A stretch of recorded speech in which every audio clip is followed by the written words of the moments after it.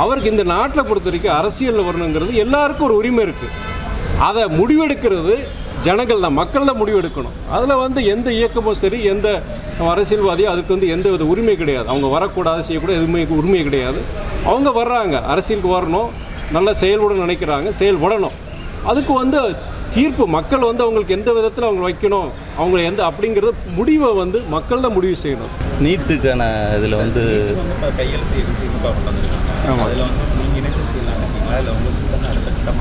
இல்லை ஆரம்ப காலகட்டங்களில் வந்து மதிமுகவும் களத்தில் போராடி இருக்கு. நீட்டுங்கிறது வந்து தமிழ்நாட்டில் இருக்கிற அனைத்து இயக்கங்கள் பாஜக தவிர்த்து அனைத்து இயக்கங்களும் எதிர்க்கின்றது. அது வந்து நம்ம அதில் மதிமுகவும் ஒன்று அதில் மறுக்கிறது கிடையாது. திராவிட முன்னேற்ற கழகம் இப்போது நீட் அதை ரத்து பண்ணணும்னு சொல்லிட்டு தமிழ்நாட்டு மக்கள் மத்தியில் ஒரு விழிப்புணர்ச்சி ஒரு கையெழுத்து இயக்கமாக நடத்துகிறாங்க அதற்கு பொறுத்தவரை மறுமலர்ச்சி திராவிட முன்னேற்ற கழகத்தின் முழு ஒத்துழைப்பு உண்டு. அதில் மாற்று கருத்து கிடையாது. ஏன்னா இன்றைக்கி அந்த நீட் பயிற்சி பரீட்சையினால் கிட்டத்தட்ட இருபதுக்கும் மேற்பட்ட தமிழக மாணவர்கள் தற்கொலை செஞ்சுருக்கிறாங்க. இன்னைக்கு சட்டசபையில் இதுக்கு ஒரு மசோதா கொண்டு வந்து நீட் விளக்கு மசோதா கொண்டு வந்து அது ஜனாதிபதிக்கு அனுப்பிச்சிருக்கிறாங்க. இப்போ வந்து அந்த அந்த அந்த நீட் அந்த ம பயிற்சிக்கு வந்து பரீட்சைக்கு வந்து ஒரு தடை கொடுக்கணும்னு சொல்லிட்டு ஜனாதிபதிக்கு ஒரு ஒரு அழுத்தத்தை கொடுக்கறதுக்காண்டி ஒரு கையெழுத்து இயக்கமாக திராவிட முன்னேற்றக் கழகம் நடத்திட்டு இருக்கிறாங்க அதற்கு மறுமலர்ச்சி திராவிட முன்னேற்ற கழகத்தின் முழு ஒத்துழைப்பு உண்டு. ரெண்டரை ஆண்டுகளாக வந்து எதுவுமே செய்யாமல் தேர்தல் அந்த கையெழுத்து எடுத்த திமுக தொடர்ந்து எதிர்க்கப்படுகிறது இல்லை இல்லை. நீங்கள் தேர்தலுக்காண்டி நம்ம சொல்ல முடியாது. ஏன்னா வந்து உங்களுக்கு தொடர்ந்து இதுக்கு குரல் கொடுத்துட்டு இருக்கிறது திமுக மற்றும் கிடையாது. நாங்கள் எல்லாருமே அதுக்கு குரல் கொடுத்துட்டு இருக்கிறோம் ஆளுநர் பொறுத்த வரைக்கும் உங்களுக்கே தெரியும். கிட்டத்தட்ட ஒரு வருஷத்துக்கு மேலே சட்டசபையில் அந்த நீட்டை விளக்கணும்னு சொல்லிட்டு மசோதா கொண்டு வந்த பிறகும் நம்மளுடைய ஆளுநர் ஆர் என் ரவி அவர்கள் அதற்கு ஒரு முற்றுக்கட்டை போடுற மாதிரி கிட்டத்தட்ட ஒரு வருஷம் அதுக்கு ஒப்புதல் கொடுக்க கொடுக்காம அப்புறம் பல்வேறு போராட்டங்கள் இதெல்லாம் பண்ணதுக்கப்புறம் அதுக்கப்புறம் தான் அவர் அதுக்கு ஜனாதிபதிக்கு அவர் அனுப்புகிறார் இப்போ கிட்டத்தட்ட அவராலே கிட்டத்தட்ட ஓராண்டு ஒரு ஒரு இடைவெளி. இப்போ அதனால் வந்து இப்போ இன்னைக்கு ஜனாதிபதி அவங்க கையில் தான் இருக்குது இன்றைக்கி அதில் ஒரு அவங்களுக்கு ஒரு ஜனாதிபதிக்கு ஒரு ஒரு அழுத்தத்தை கொடுக்கறதுக்காண்டி இன்னைக்கு அந்த கையெழுத்து இயக்கத்தை நடத்துகிறாங்க கண்டிப்பாக வந்து ஒரு கால காலகட்டத்தில் நீட் வந்து விளக்கும் கண்டிப்பாக ஒரு விளக்கு நீட் விளக்கு கண்டிப்பாக வரும். தமிழ்நாட்டில் வருங்கிற நம்பிக்கை எங்களுக்கு எல்லாருக்கும் இருக்குது ஐந்து மாநில தேர்தல் நடக்குது? ஐந்து மாநில ஆமா. மதிமுக பிரச்சாரத்தில் இல்லை ஐந்து மாநில தேர்தல் பொறுத்த வரைக்கும் இன்னைக்கு ஒன்றிய அரசு பாஜக அரசு ஒரு மதவாத அரசு இந்த நாட்டின் வளர்ச்சிக்காகவும் இன்னைக்கு பல்வேறு பிரச்சனைகள். குறிப்பாக நீங்கள் மணிப்பூர் சம்பவம் உங்களுக்கு தெரியும் இன்னைக்கு. கிட்டத்தட்ட பல்லாயிரக்கணக்கான பேர் உயிர் இழந்திருக்கிறாங்க வீடுகள் உடைமைகளை இழந்திருக்கிறாங்க. இன்னைக்கு நாடு முழுவதும் பல்வேறு பிரச்சனைகள் இன்னைக்கு சந்திச்சுட்டு இருக்கிறோம் இதுக்கெல்லாம் முற்றுப்புள்ளி வைக்கிற மாதிரி இந்த ஐந்து மாநில தேர்தல்களுடைய அந்த ரிசல்ட் கண்டிப்பாக இருக்குங்கிறது எங்களுக்கு நம்பிக்கையாக இருக்குது. நடிகர் விஜயுடைய இந்த பொது சேவையை வந்து அரசியல் முன்னெடுப்பாக பார்த்து திமுக அதிமுக கட்சிகள் பயப்படுவது நிறைய பேர் விமர்சனம் பண்ணுறாங்க இப்போ சமீபத்தில் அவரோட படத்துக்கான பிரச்சனைகள் கூட வந்து தமிழக அரசு வந்து அவர் மேலே இருக்க பயத்தில் தான் இதை பண்ணுறாங்க அப்படின்ற இல்லை ச- நடிகர் விஜயை பொறுத்த வரைக்கும் சகோதரர் விஜயை பொறுத்த வரைக்கும் அவரும் சரி அவர் தந்தையாரும் சரி உழைப்பால் உயர்ந்தவர்கள். அதை யாரும் நம்ம மறுக்க முடியாது. அவருக்கு இந்த நாட்டில் பொறுத்த வரைக்கும் அரசியலில் வரணுங்கிறது எல்லாருக்கும் ஒரு உரிமை இருக்குது அதை முடிவெடுக்கிறது ஜனங்கள் தான் மக்கள் தான் முடிவெடுக்கணும் அதில் வந்து எந்த இயக்கமும் சரி எந்த அரசியல்வாதியும் அதுக்கு வந்து எந்த வித உரிமை கிடையாது. அவங்க வரக்கூடாது செய்யக்கூடாது எதுவுமே உரிமை கிடையாது. அவங்க வர்றாங்க அரசியலுக்கு வரணும் நல்ல செயல்பட நினைக்கிறாங்க செயல்படணும். அதுக்கு வந்து தீர்ப்பு மக்கள் வந்து அவங்களுக்கு எந்த விதத்தில் அவங்க வைக்கணும் அவங்க எந்த அப்படிங்கிறத முடிவை வந்து மக்கள் தான் முடிவு செய்யணும்.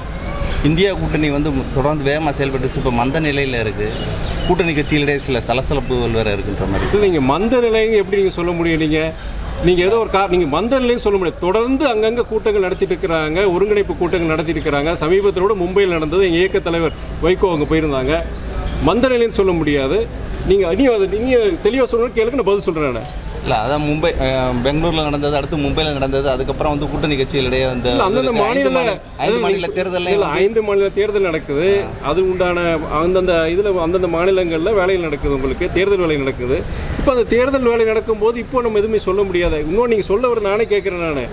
ஏன் வந்து சில உதாரணம் அகிலேஷ் யாதவ் போன்றவர்கள் வந்து ஒரு காங்கிரஸுக்கு எதிரான சில கருத்துகள் சொன்னாங்க. நீங்க அந்த கேள்வி தானே அது விஷயமா தானே கேட்குறீங்க நான் ஓப்பனாக நீங்கள் கே மனசுல இருக்க நான் சொல்லிடுறேன் நான். அது என்னன்னா இன்னொன்று சொல்லிடுறேன் நான். சட்டமன்ற தேர்தல் வேற நீங்கள் நாடாளுமன்ற தேர்தல் வேற.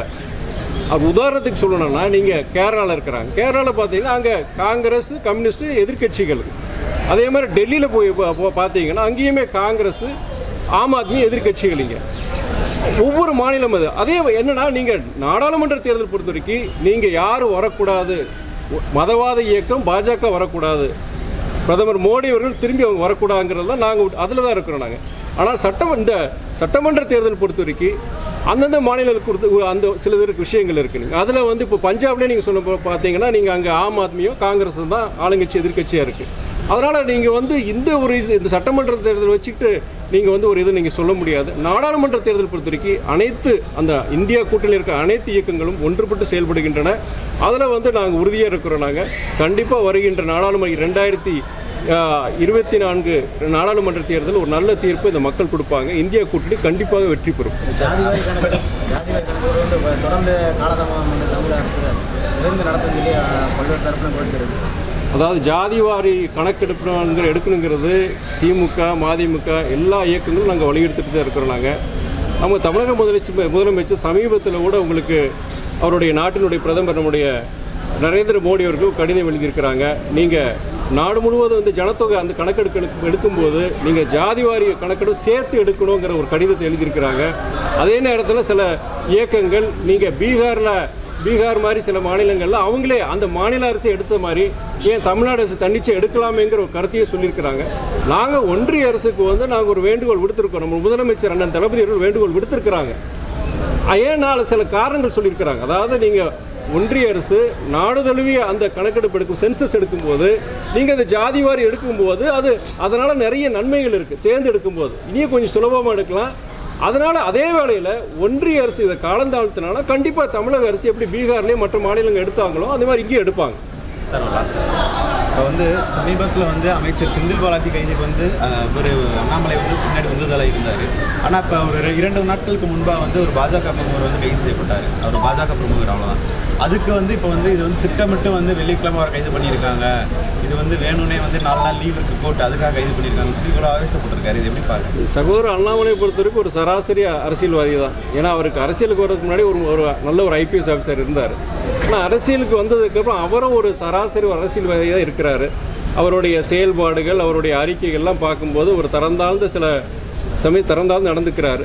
இந்த விஷயத்தை பொறுத்த வரைக்கும் ஏன்னா அவர் ஒரு நீங்கள் ஒரு ஒரு தவறுக்காண்டி அவர் சட்டப்படி ஒருத்தர் நடவடிக்கை எடுத்திருக்கிறாங்க. அப்போ அதுக்கு ஒரு விளக்கம் கொடுக்குறாரு. நீங்கள் சொல்கிற மாதிரி அதே நேரத்தில் மாற்றுக் கட்சியினர் அவங்க கைது செய்யும்போது ஒரு அறிக்கை கொடுக்குறாரு. அவருடைய நீங்கள் பத்திரிக்கை நீங்களே அந்த உங்கள் கேள்வியில் அந்த பதில் இருக்கு உங்களுக்கு.